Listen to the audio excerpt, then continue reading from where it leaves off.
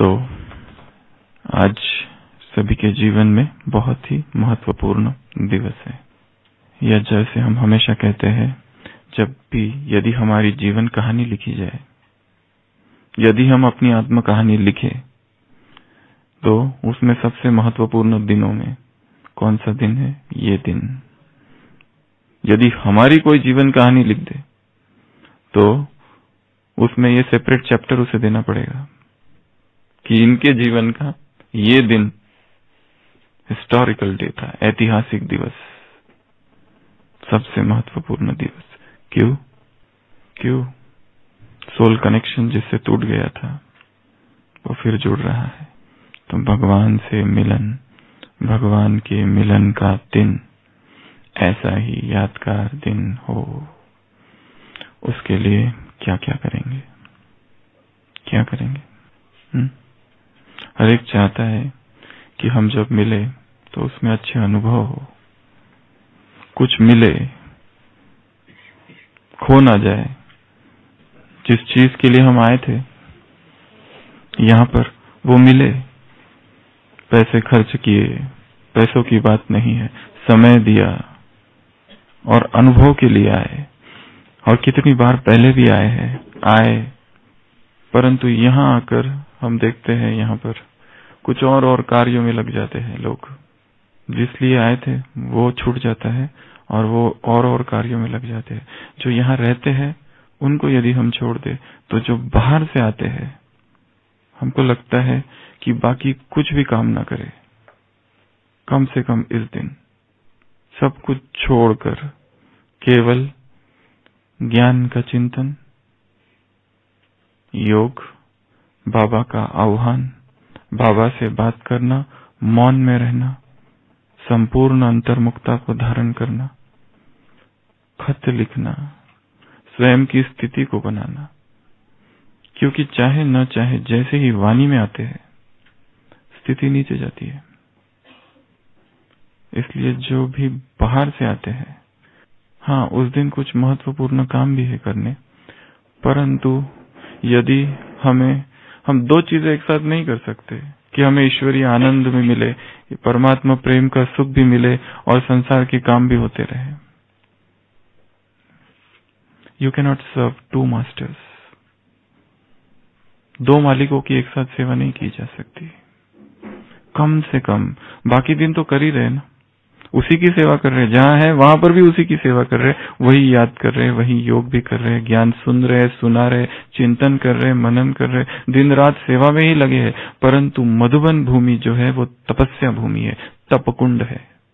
यहाँ पर क्या करना चाहिए? हम्म? केवल और केवल तपस्या। क्योंकि ऐसे मौन क्षणों में ही उस मधुर मिलन का आनंद आ सकता है। जो यहाँ रहते, उन्हें तो सेवा करनी है, उनकी बात अलग है। और वो बार बार मिल रहे हैं, हर टर्न में मिल रहे हैं। परंतु जो दूर से आ रहे हैं, उनके लिए तो वो एक ही दिन है। और कितने समय के बाद वो दिन आया है। और उस दिन भी, यदि कारोबार या सेवाओं में अगर व्यस्त हो जाए तो फिर वो अनुभव नहीं होगा जो होना चाहिए। क्योंकि स्थिति अव्यक्त चाहिए। मौन चाहिए। मौन के उन अचेतन पलों में ही परमात्मा अनुभूति होती है। मौन के वो अचेतन पल। उसके सिवा नहीं हो सकती। परमात्मा अनुभूति इतनी सस्ती भी नहीं है कि मधुबन में पहुँच गए शरीर से और मिलन मना लिया, सामने सीट ले ली और भगवान से मिलन का अनुभव हो गया। इतना सस्ता है क्या भगवान का मिलन? तैयारी चाहिए। चित्त की, मन की, बुद्धि की, सब तरफ़ से बुद्धि को हटा के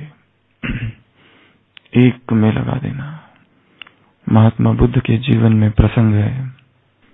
सुबह सुबह एक ब्राह्मण के द्वार पर जाकर खड़े होते हैं। वो ब्राह्मण ऐसा ब्राह्मण है कि जब तक हर सुबह पाँच भिक्षुओं को दान ज़रूर देता है एक सुबह महात्मा बुद्ध खुद उसके द्वार पर आकर खड़े हो गए और वो दरवाजे की तरफ़ पीट करके उस समय कुछ खा रहा था, भोजन। उसकी पत्नी ने देखा और पत्नी ने जैसे देखा कि द्वार पर बुद्ध खड़े हैं, पत्नी को लगा कि जैसे ही मेरे पति यदि इस बुद्ध को देख ले तो उसको फिर से भोजन बनाना पड़ेगा। क्योंकि वो तो अपना इनको दान दे देंगे तो वो बीच में खड़ी हो जाती है। परंतु बुद्ध का अस्तित्व, बुद्ध का वो प्रेजेंस उस वातावरण में एक अलौकिक दीप्ति, अलौकिक प्रकाश फैला देता है। और वो जो ब्राह्मण भोजन करता है, उसे अज्ञात में ही पता चल जाता है कि तथागत आए हुए हैं। उसे वहीं पता चल जाता है और जैसे ही बुद्ध को देखता है, मौन में है। पत्नी तो यह सोच रही थी कि यह देखे नहीं, बीच में खड़ी हो गई थी।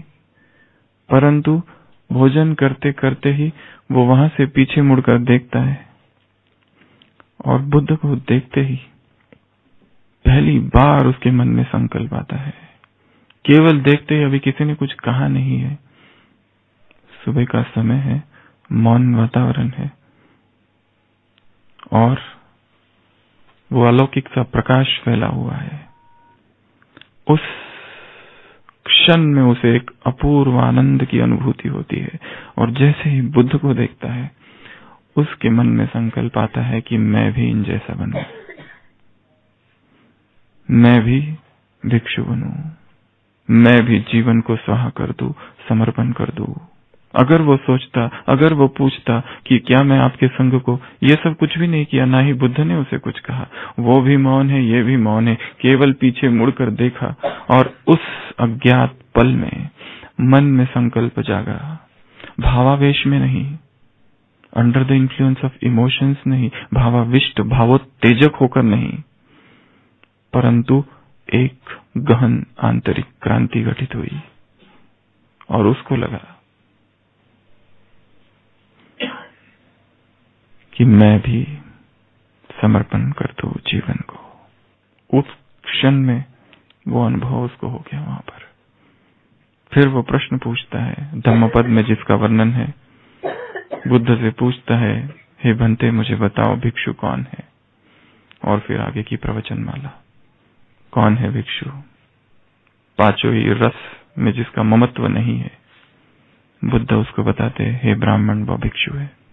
रूप रस स्पर्श शब्द गंध। हर एक चाहता है कि अनुभव हो। पर होता नहीं हर एक चाहते हैं भगवान से मिलन हो, परंतु मिलन होते हुए भी वो अनमिला ही है। हर एक चाहते हैं कि इन आँखों से भगवान दिखाई दे, परंतु देखते हुए भी अनदेखा सा रह जाता है। क्योंकि दिन भर या क्या हम कर रहे हैं? सारे दिन भर कितना वाणी में है, कितना वाचा में है, कितना विस्तार में है। यदि हम इस एक दिन के लिए यहाँ आ रहे हैं, छह मास के बाद, एक साल के बाद, कई मास के बाद, कई दिनों के बाद, कुछ हफ्तों के बाद भी, एक दिन और उस पल के लिए यहाँ आ रहे हैं तो सारा फोकस सारा ध्यान उसकी ओर ही होना चाहिए। सेवाएँ होती रहेगी। कम से कम उस एक दिन सेवा को अवकाश। जो आ रहे हैं बाहर से उनके लिए हम कह रहे हैं। यहाँ वाले मत सुन लेना। यहाँ वालों को तो सेवा करनी ही है। जो सेवा में आए हैं, सेवाधारी, उनको तो सेवा करनी है। परंतु जो बाहर से आए हैं, एक दिन के लिए, उनको क्या? Detach disconnect to reconnect reconnect करने के लिए डिस्कनेक्ट करना पड़ेगा सबसे। ऐसा शांत मन, स्थिर मन जैसे ही उस सभा में बैठता है। हमने कुछ संकल्प नहीं किया कि हमें कुछ अनुभव चाहिए, कुछ चाहिए, कुछ नहीं। बैठे हैं और अचानक से कुछ होगा। अचानक अनुभूति होगी। बताकर नहीं होगी, आमंत्रण देकर नहीं आएगी अनुभूति। अनुभूति आमंत्रण देकर कभी नहीं आती। अनुभूतियाँ कैसी आती है? अनइनवाइटेड हमने चाहे, चाह भी नहीं, अपने आप अवतरित होती है। परंतु होगी वहाँ, जहाँ की भूमि में मौन हो, एकांत हो, अंतर्मुक्ता हो, वैराग हो। तो स्वयं को तैयार करना है। सुबह शाम तक। ये दूसरा प्रश्न है। बाबा आए, ना आए। इसका अनुभूति से भी कोई संबंध नहीं है। अनुभूति फिर भी हो सकती है। प्रतीक्षा हमारी कैसी है? सतत प्रतीक्षा, अपलक नयन। कितनी गहन और कितनी गहरी हमारी प्रतीक्षा है। जो हज़ारों, कई बार मिल चुके हैं बाबा से, फिर भी प्रतीक्षा कितनी है अंदर? कौन आ रहा है? वेट कितना हम कर रहे हैं? विदेश में एक ऑथर, सैम्यूअल मैक मैकिट उसने एक बहुत सुंदर किताब है waiting for Godot waiting for Godot उसमें दिखाया है एब्सर्ड प्ले है ये, नाटक है ये, पर इस पर इतने इंटरप्रेट किए, इतने मनोवैज्ञानिक, बहुत हज़ार कितनी फ़िल्में और कितने ड्रामा उस पर बने हुए हैं। हिंदी में कहते हैं गोडोट आया क्या? गोडोट आया क्या? उसमें दिखाया है, एक प्ले है जिसमें केवल चार ही पात्र है। मुख्य तो दो ही है। स्ट्रेगॉन और ब्लैडमियर नाम के दो पात्र है और जो सड़क पर बैठे हैं और इंतज़ार कर रहे हैं एक व्यक्ति का। गोडोट नाम का। गोडोट कौन है वो आखिरी तक पता नहीं चलता है। वो कब आएगा और उसने ये नहीं बताया कि मैं आ रहा हूँ। पर ये दोनों इंतज़ार कर रहे हैं, कर रहे हैं, कर रहे हैं और उनके बीच में वार्तालाप है। Theology God action karmic account सबका। प्ले चालू कहाँ से होता है एंड कहाँ से होता है, पता ही नहीं चलता है। एब्सर्ड है। बेतुका, बकवास। उसका कोई सार नहीं है। परंतु फिर भी थिंकर्स और फिलोसोफर्स ने कितने अलग अलग रीति से उसको इंटरप्रेट किया एक ही मुख्य चीज़ है वहाँ पर वेटिंग दिन भर प्रतीक्षा करते हैं। रात हो जाती है, कहते हैं, आज नहीं आया, कल ज़रूर आएगा पर। कौन? गोडोट और गोडोट है कौन? पता ही नहीं। कोई कोई फिलोसोफर कहते हैं, शायद वो गॉड है। गोडोट नहीं है गॉड है। वेटिंग फॉर गॉड आत्मा की यात्रा भी ऐसी है जो वेट कर रही है गॉड के लिए। और वो आएगा कभी ना कभी। कब आएगा पता नहीं। परंतु आने वाला है। उसमें फिर दो पात्र और दिखाए बीच में पिज्जो और लकी एक मास्टर होता है, उसका एक गुलाम होता है। वो गुलाम में एक खूबी होती है, वो सोच सकता है थिंकिंग करने की। क्योंकि कहा गया ये बहुत ही रेयर कमोडिटी है मनुष्यता में, सोचने का। व्यक्ति को पता ही नहीं सोचना कैसे। वो जो गुलाम होता है, वो बोलना चालू करता है, फिर वो भी इतनी बकवास करता है, उसको भी रोका जाता है।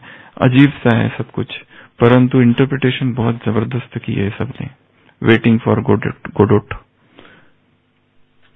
सार है वेट प्रतीक्षा, इंतज़ार।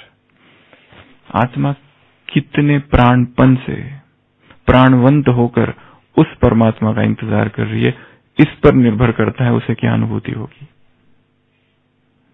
नहीं तो गए गाड़ी में जा रहे जाते जाते भी बातचीत चालू है। दिन भर तो बातचीत चालू ही है।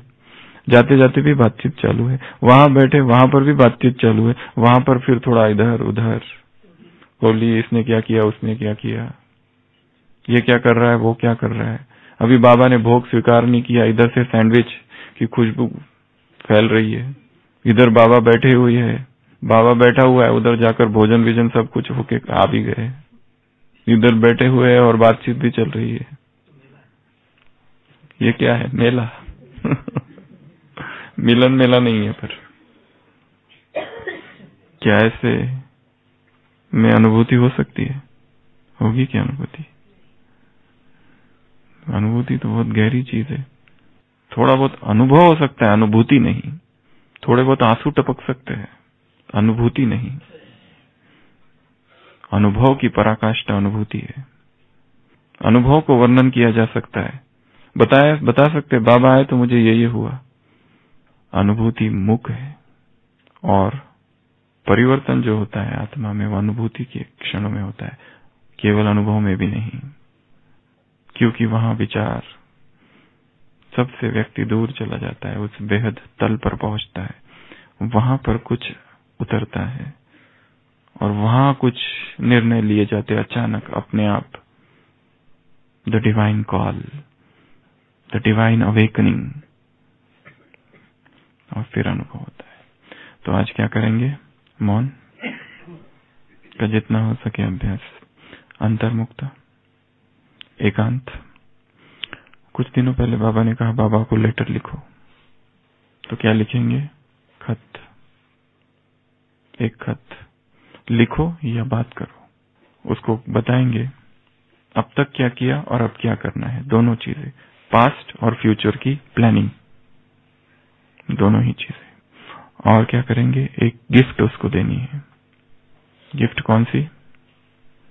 फरिश्ता स्थिति की, अव्यक्त स्थिति की। ये सारे कार्य करने हैं। जितना हो सके, आवाज़ से वैराग। किससे वैराग? आवाज़। जितना गहरा मौन, उतनी गहरी अनुभूति। ओम शांति।